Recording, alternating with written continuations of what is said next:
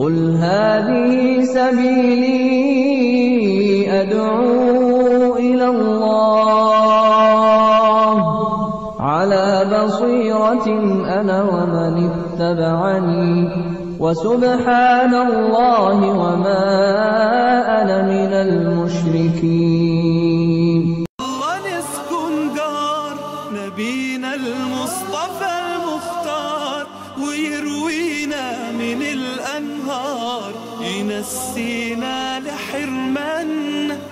بيوم هنعيش في الجنة. ده يوم هنعيش في الجنة. السلام عليكم ورحمة الله وبركاته. بسم الله والحمد لله والصلاة والسلام على حبيبنا وأسوتنا وقدوتنا وشفيعنا رسول الله صلى الله عليه وآله وسلم. أما بعد فمرحبا بإخواني وأخواتي وأهلي وأحبابي. مرحبا بكم مرة أخرى مع يوم في الجنة. حقيقة الناس زي ما بيتفاوتوا في الدنيا في مسائل الطاعة والقرب من ربنا يوم القيامة برضو هيتفاوتوا في الدرجات والمنازل في الجنة. وكل لما تكون عايز تقرب وتعلى لازم تقرب وتعلى أيضا في الطاعة. اللي هتغرسه هنا هتلاقيه هناك. ولذلك ربنا سبحانه وتعالى قال له واسجد واقترب. عايز تقرب أكتر وتعلى أكتر في درجات الجنة فلازم تكون مقرب أكتر وساجد في الدنيا وعابد في الدنيا ومطيع لله ومتبع لرسول الله صلى الله عليه وسلم. وزي ما انت عايز بقى وانت اللي تحدد براحتك قرب أكتر واجتهد أكتر عشان تاخد ثواب أكتر. النهارده هنعرف أربع حاجات. أدنى أهل الجنة وأعلى أهل الجنة وآخر واحد هيخش الجنة ومين صاحب أعلى وأعظم منزلة في الجنة. هنعرف الأربعة بس بعد ما تصلي على حبيبك صلى الله عليه وسلم. الحديث الأولاني رواه مسلم عن المغيرة ابن شعبة. أن حبيبنا صلى الله عليه وسلم قال سأل موسى بن عمران عليه السلام ربه جل وعلا وقال يا رب ما أدنى أهل الجنة منزلة يوم القيامة؟ يا رب أنا عايز أعرف أقل واحد في الجنة هيبقى عامل إزاي؟ فقال جل وعلا هو رجل يأتي بعدما أدخل أهل الجنة الجنة فيقال له ادخل الجنة فيروح يقرب من الجنة فيسمع أصوات الناس وهم بينعموا في الجنة فيخيل إن الجنة خلاص اتملت مين قال الكلام ده؟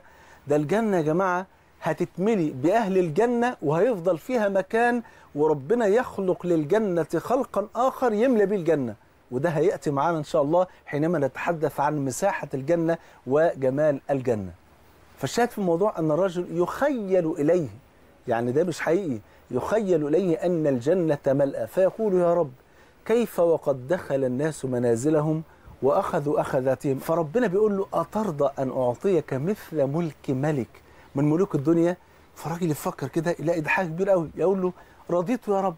فيقول له جل وعلا لك ذلك ومثله ومثله ومثله ومثله. في المرة الخامسة يقول له رضيت يا رب. يعني عايز يقول ده كتير جدا عليا فيقول جل وعلا لك ذلك وعشرة أمثاله يعني هو قال له هليك خمس مرات قد ملك ملك من ملوك الدنيا لا وكمان عشرة أمثالي يبقى خمسين ضعف ملك ملك من ملوك الدنيا.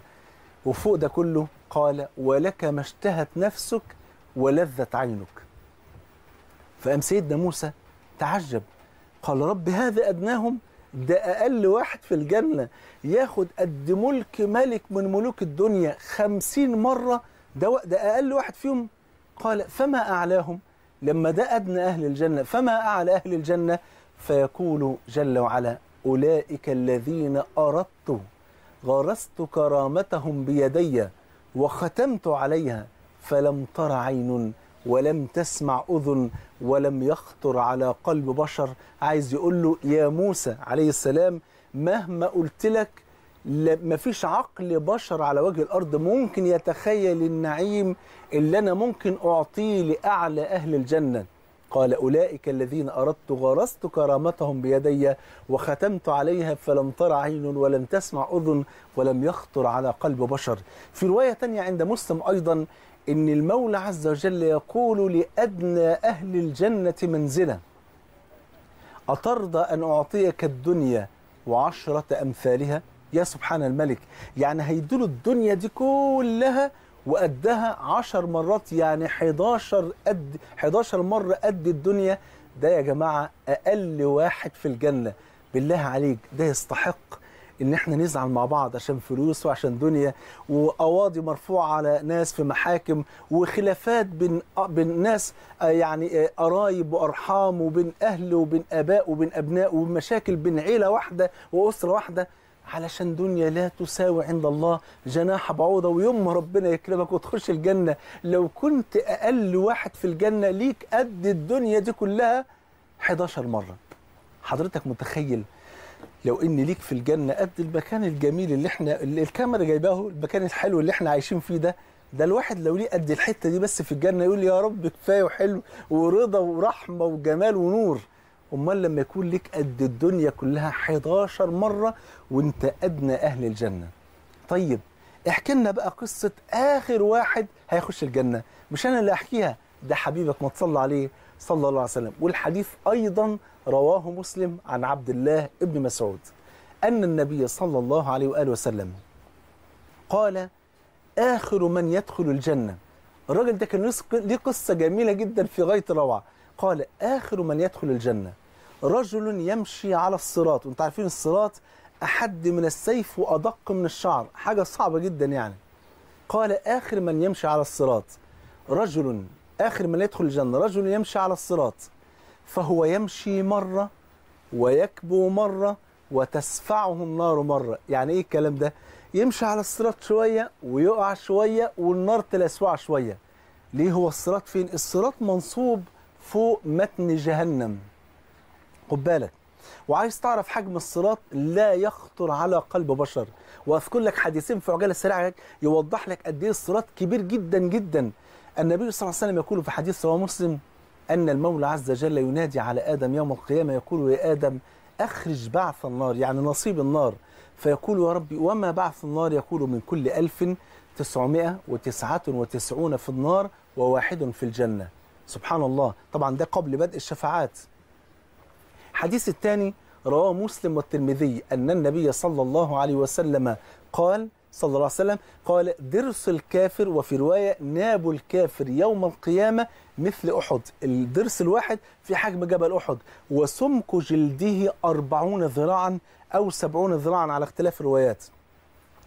ومجلسه من جهنم وفي رواية وما بين منكبيه كما بين مكة والمدينة.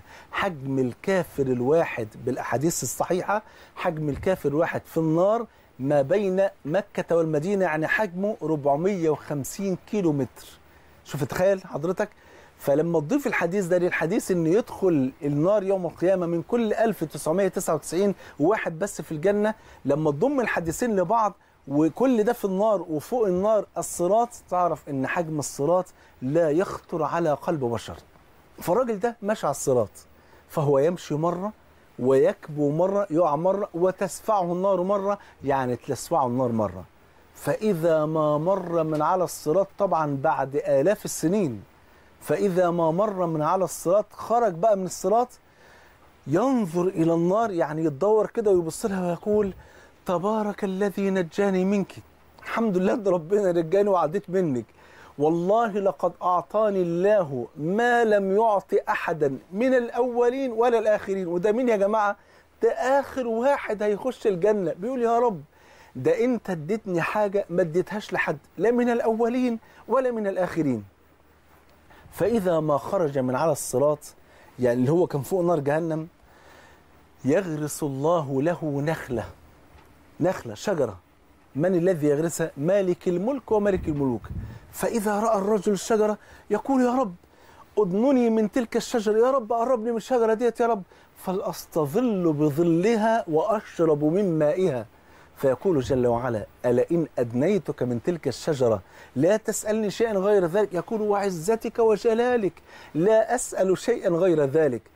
والنبي صلى الله عليه وسلم يقول وربه يعذره لأنه يرى ما لا صبر له عليه فيقربه المولى عز وجل من تلك الشجرة فيستظل بظلها ويشرب من مائها ثم يغرس المولى عز وجل له شجرة أخرى أجمل وأبهى من الشجرة الأولى فيصرخ العبد يا رب أضنني من تلك الشجرة قربني منها. فلأستظل بظلها وأشرب من مائها فيقول العبد فيقول المولى عز وجل عبدي ما أغدرك انت مش لسه مدي العهد دلوقتي وبتقول وعزتك وجلالك؟ فيقول النبي صلى الله عليه وسلم وربه يعذره لأنه يرى ما لا صبر له عليه فربنا يقربه من الشجرة الثانية بعد ما قربه من الشجرة الثانية هتحصل مفاجأة كبيرة. إيه هي المفاجأة؟ ده اللي إحنا هنعرفه بعد الفاصل. صلى على حبيبك.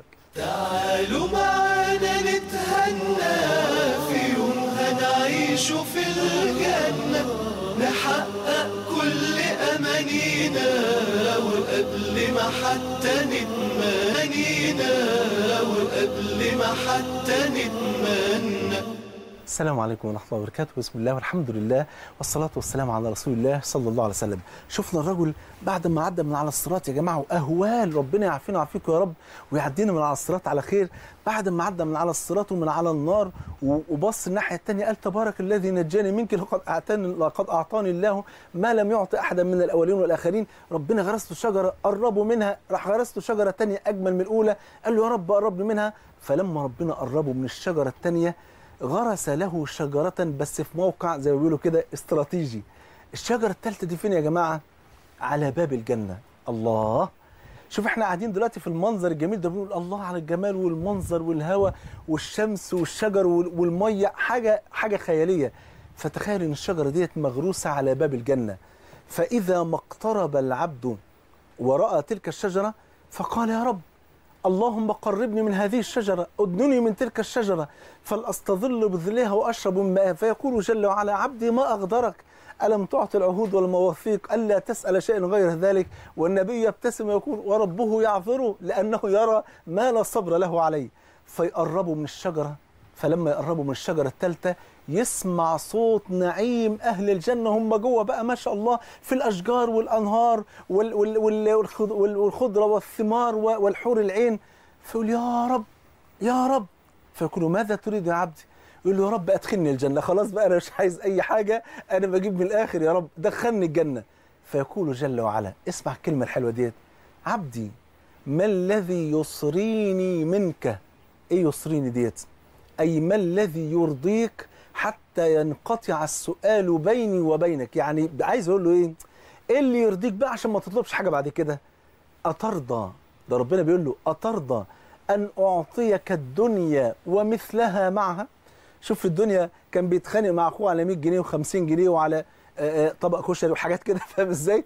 لا ده بيقول له أترضى أن أعطيك الدنيا ومثلها معها. فالعبد كده إيه؟ هيروح مكشر بقى. هيكشر ليه؟ ده ربنا بيقول له خد الدنيا. هيكشر لأنه ظن إن ربنا بيستهزئ بيه. فيقول له أتهزأ بي أو أتسخر مني وأنت رب العالمين؟ بقى معقول يا رب أنت هتديني الدنيا كلها ومثلها معها وأنا آخر واحد خارج من النار؟ فيقول جل وعلا عبدي إني لا أستهزئ بك ولكني على ما أشاء قادر. لا يسأل عما يفعل وهم يسألون. بيقول له هو في حد هيمنعني من إن أنا أديك الدنيا ومثلها معها؟ هديها لك. فيعطيه الدنيا ومثلها معها. ده آخر واحد هيدخل الجنة. طب ليه ربنا سبحانه وتعالى يا جماعة الراجل ده بعد ما خرج من النار كده من على الصراط ليه ربنا ما دخلوش الجنة مرة واحدة واداله الدنيا ومثلها معها؟ قال لك لأنه لسه خارج من هول النار ومن عذاب النار ومن لفح النار وهو فوق الصراط. وبعدين ده النبي قال وتسفعه النار مرة ده عمال بيتلسع من النار بقاله آلاف السنين. ليه ربنا ما دخلوش الجنة مرة واحدة؟ لأنه لو دخل الجنة مرة واحدة لمات من هول المفاجأة. وأهل النار وأهل الجنة لا يموتون خالدون مخلدون فيها ابدا. فربنا تدرج معاه في اللذة. شجرة وبعدها شجرة أحلى من الأولى وبعدها شجرة أحلى من الاثنين على باب الجنة وبعدها خش الجنة وبعدها خد قد الدنيا ومثلها معها. وانت في الجنة. فده من رحمة ربنا أنه تدرج مع هذا العبد. في رواية تانية جميلة جدا جدا أيضا عند مسلم إن حبيبنا صلى الله عليه وسلم وهي رواية مضحكة ولذيذة جدا. رواها مسلم أن النبي صلى الله عليه وسلم قال إني لأعلم آخر أهل النار خروجا من النار وآخر أهل الجنة دخولا الجنة قالوا من هو يا رسول الله؟ قال رجل يأتي بعدما أدخل أهل الجنة الجنة ويدخل أهل النار النار فيقال له اعرضوا عليه يقول المولى عز وجل للملائكة اعرضوا عليه صغار ذنوبه وخلوا كبارها. يعني عرفوه الذنوب الصغيرة اللي هو ارتكبها كلها وما تعرضوش عليه ولا ذنب من الذنوب الكبيرة التي ارتكبها. فالملائكة تعرض عليه صغار الذنوب ويقول له جل وعلا عبدي فعلت كذا وكذا في يوم كذا. يقول له بلى يا رب آه عملت. وعملت كذا وكذا وكذا. أيوه عملت يا رب. وعملت كذا وكذا. فإذا عرضت عليه صغار الذنوب خد بالك. وظن العبد أنه من أهل النار وإذا بالحق جل وعلا يأمر الملائكة أن تبدل له مكان كل سيئة حسنة. يقول- يقولوا له في الآخر شفت كل الذنوب الصغار اللي أنت عملتها دي كلها؟ بالملايين. آه شفتها. اتقلبت حسنات. فهنا يقول العبد رب إن في ذنوبا آه، لم ارها في هذه الصحيفة. يعني عايز أقول له إيه؟ ما دام بقى الذنوب الصغيرة دي اتقلبت لحسنات لا ده في شوية في شوية كبائر بقى زي الفل اللي عاملها يا ريت تجيبها لي هي كمان وتقلبها لي حسنات. فضحك النبي صلى الله عليه وسلم حتى بدت نواجزه بأبي هو وأمي صلى الله عليه وسلم. يبقى عرفنا أدنى أهل الجنة ورد في حديث إن ربنا يقول له أترضى أن أعطيك مثل ملك ملك من ملوك الدنيا أو لك ذلك ومثل ومثل ومثل خمس مرات وفي الآخر قال له وعشرة أمثاله يعني قد خمسين ملك ملك من ملوك الدنيا وفوق ده كله كمان قال له إيه؟ ولك ما اشتهت نفسك. يعني أنت خدت قد خمسين ملك ملك من ملوك الدنيا وممكن تقول يعني ولك ما اشتهت نفسك؟ طب أنا يا رب نفسي بتشتهي إن أنت تديني قال قد اللي اديته لي ده مليون مرة لك ذلك. لأنك بتطلب من الغني سبحانه وتعالى. وفي الرواية الثانية إن أدنى أهل الجنة ليه قد الدنيا 11 مرة وآخر أهل الجنة له الدنيا ومثلها معها. سبحان الملك. طيب أعلى الناس منزلة يوم القيامة؟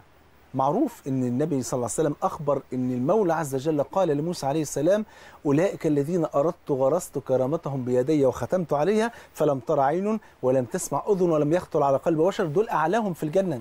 لا أنا أقصد الشخص نفسه في واحد بس هو ليه أعلى منزلة في الجنة ودي محتاجة كلام النبي محمد ما تصلى عليه صلى الله عليه وسلم.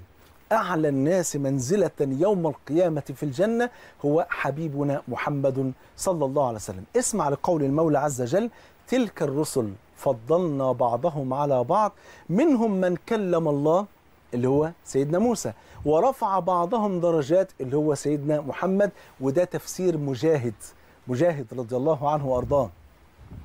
في حديث الإسراء والمعراج الذي رواه البخاري ومسلم أن النبي لما سلم على سيدنا موسى عليه السلام ثم جاوز سيدنا موسى إلى السماء التي تليها.